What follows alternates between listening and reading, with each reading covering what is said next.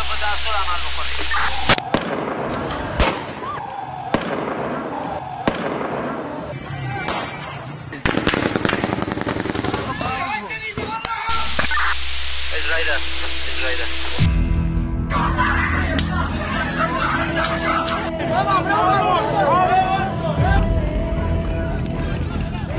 در عرصه های مختلف دشمن عقبار اشرار اشرار اینه باید توجه داشت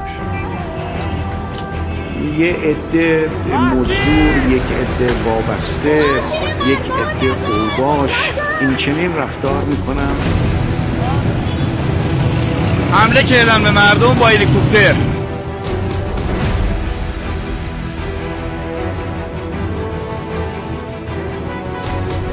منم که صاحب نظر نیستم. این قضایی گفتم من صاحب نظر نیستم لکن اگر سران سرقوه تصمیم بگیرن من حمایت می‌کنم. In November 2019, Iranians were rocked by a tragedy that shook their society to the core.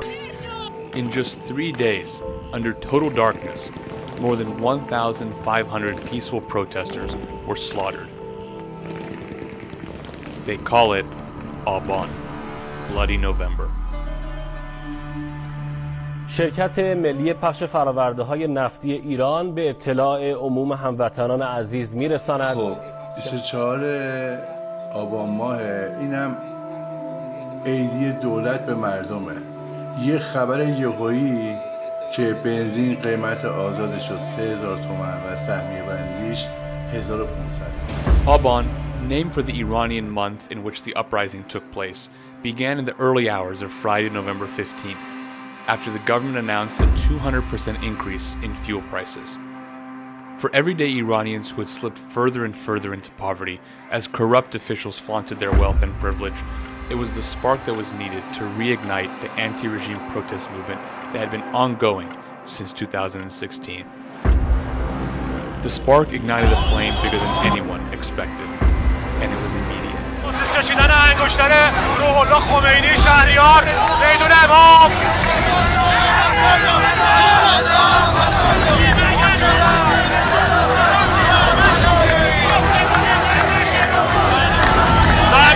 آتیش کشیده شدن میدون امام خمینی At 1 o'clock in the morning, in the major cities of Mashhad, Ahvaz, and Shiraz, thousands of drivers shut off their engines, blocking some of the country's most trafficked thoroughfares. It was civil disobedience on a mass scale. Aban had begun.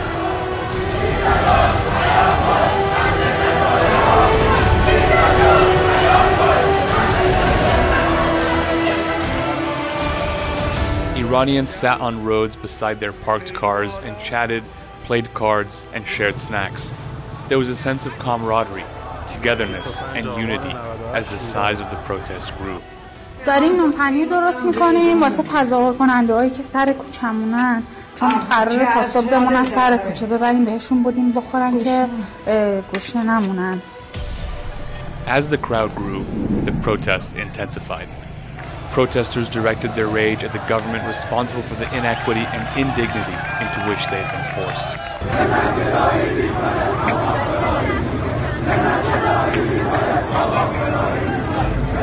Nonetheless, they maintained a disciplined dedication to the principles of nonviolence and civil disobedience, long advocated by leading pro democracy voices.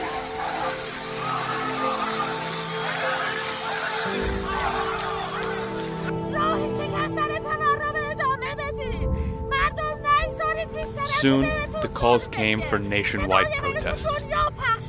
Iranians answered the call by the thousands. Protests spread to nearly every province, including the nation's capital, Tehran. After years of having their protests crushed, the united front that emerged in the early days of Aban gave many a sense of hope that this time would be different. They approached the police lines, handing them flowers, calling on them to join the movement. Feeling was revolutionary. Well, there's a pervasive narrative, which I'm convinced is peddled in the international press by the regime itself, that the Iranian people are apathetic, that they would rather have the devil they know than descend into chaos like Iraq or Syria, and that there really isn't any internal opposition to the regime. And what this showed was very clearly that was a lie. As the protests continued into their second day and more joined, the true demands of the protest became clear. They didn't just want the removal of the petrol price hike, they wanted the removal of the Islamic Republic.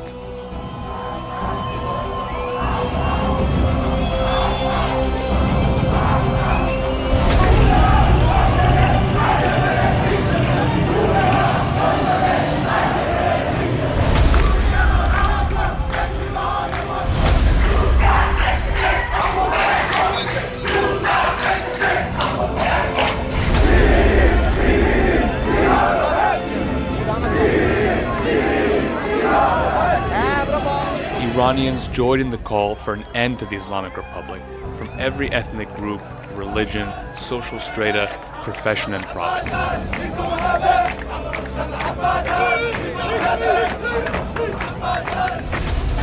University students walked out of class.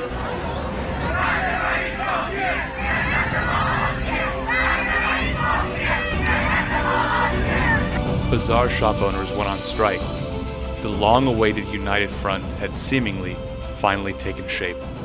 Social media, despite government censorship, was filled with calls for continued protests. The regime took notice, and on November 16th plunged more than 80 million people into darkness. Iranians were unable to communicate and organize with one another, and were unable to share films of the protest with the world. Iran is killing perhaps thousands and thousands of people right now as we speak. That's why they cut off the internet. So they cut off the internet so people can't see what's going on. It was a decision made by one man. این کار مردم نیست. این کار اشراره. کار اشراره. اینو باید توجه داشت. Hiding in his secluded, secretive bunker, as posters bearing his image were burned and torn down across the country, Ali Khamenei feared his regime was in danger of falling.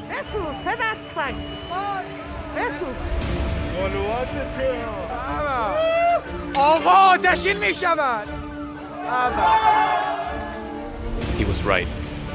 He issued the order to his secret police and revolutionary guards to do whatever it takes to crush the protests. The number came to Reuters from sources inside Iran's government and close to the inner circle of the man at the top, Ayatollah Ali Khamenei. The sources also said that Khamenei had personally ordered the crackdown to stop the protests. Quote, Do whatever it takes to end it, he told his lieutenants. You have my order. Under the cover of darkness, the Islamic Republic launched a war on the Iranian people having lost control of some provinces to the protesters and being on the verge of losing more as the rebellion grew, the regime sent in military units. They mounted heavy machine guns to their vehicles, approached the crowds, and opened fire. Only later did the images begin to leak out.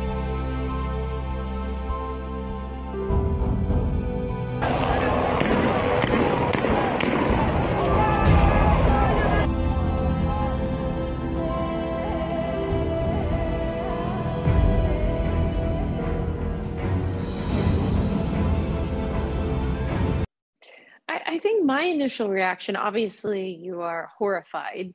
Um, you're disgusted whenever you see those pictures, and, and you're horrified uh, that a government could do that to their own people. But I really had this sense of wanting um, to make sure that the American people and that people around the world knew exactly what was going on. Really, just disgust and anger, and it was the really the true face of the Islamic Republic showing itself to the world. Seeing something on this scale um, is is is really is really powerful and uh, motivating at the same time.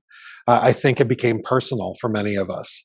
Uh, we were looking at people with machine guns mowing down kids. Uh, we were looking at women lying on the street in, in pools of blood. Uh, we were looking at people much like ourselves or our children um, saying things that we're used to hearing on the streets of the United States or any any democracy, and um, and and and and for protesters to have to pay with their lives uh, in such a brutal fashion was was really uh, was really searing on many of us. The Islamic Republic didn't stop there.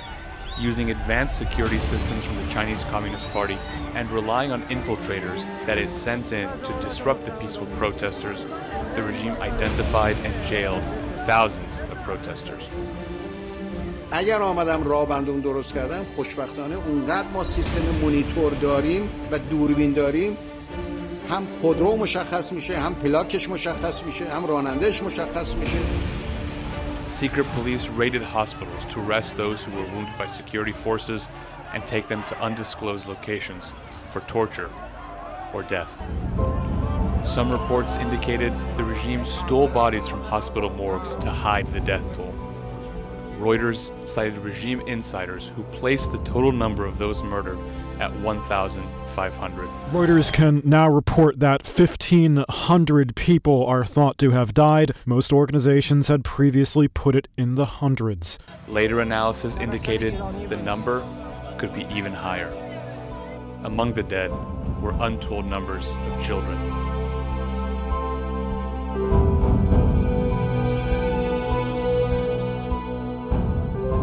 The massacre left in its wake thousands of additional victims, the families of those murdered or disappeared. But they don't see themselves as victims. They're families seeking justice. One group has become a symbol of the ongoing battle for justice, the mothers of Aban.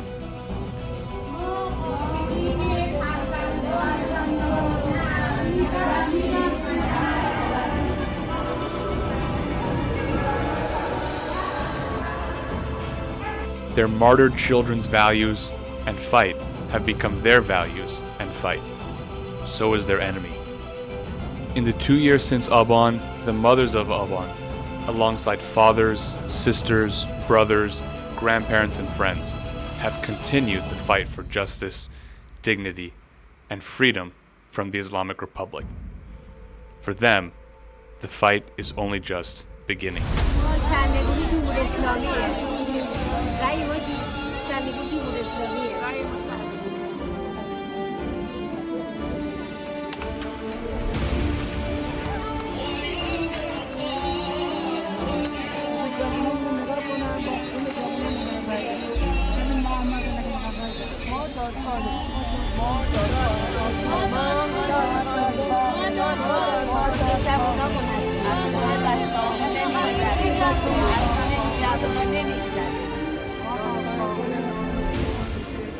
am inspired by the people of Iran. I am inspired by their bravery. I'm inspired by their tenacity.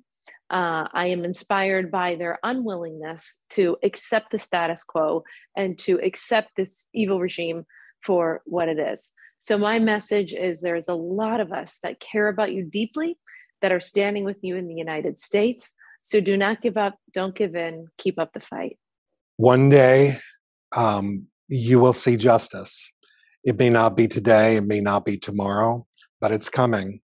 I know it's coming because every dictatorship is destined for the ash heap of history, and the Iranian regime is uh, destined for exactly the same place. And that day, you will see justice for your children, for your sisters, for your brothers, for your parents. We have never forgotten you. We have never forgotten your loved ones who were killed by this regime, and we will never stop seeking justice for them. My message would be that, that there are still Americans who stand strongly with you, who, and I'm old enough to remember when Iran was a friend of the United States. That is possible. It happened in my lifetime. It is not inevitable that our countries are our enemies. And their fight has been encapsulated by the hashtag they made viral. Aban continues. شما خودتونم میدونید با آبان نابود شدید و این آبان ادامه داره مگر اینکه تمام خانواده آبان رو سرشون کنین زیر آب همونجوری که بچه رو کف خیابون زدید ماها هم بزنید بکشید Be their voice. Share their stories. Talk about Aban, bloody.